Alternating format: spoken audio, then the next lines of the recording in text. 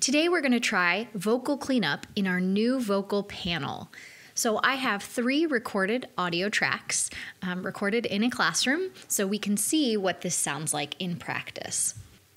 So in order to use the vocal cleanup, you're going to go to the track and select the microphone icon on the left hand side. It shows our new vocal panel. You're then going to select the region, make sure it's highlighted, and you'll see vocal cleanup lights up and we're going to choose remove noise.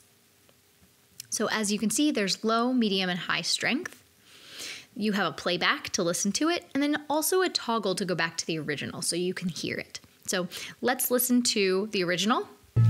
Recording this in a music classroom and hoping that the vocal cleanup will take out all these extra voices. All right, now I'm going to toggle on to listen to the medium strength recording this in a music classroom and hoping that the vocal cleanup will take out all these extra voices.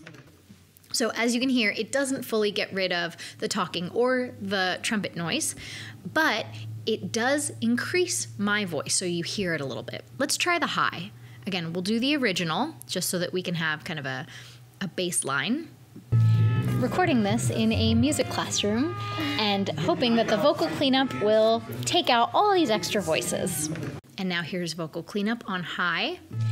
Recording this in a music classroom and hoping that the vocal cleanup will take out all these extra voices.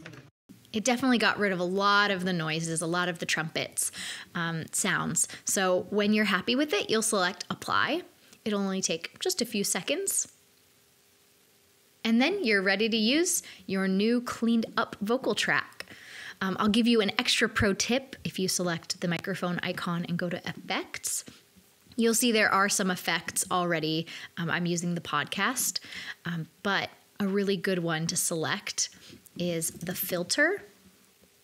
And you can actually change the high and low cut filter. We like to do about 100 hertz on the low cut. And since there is that trumpet, I might do a little bit of the high.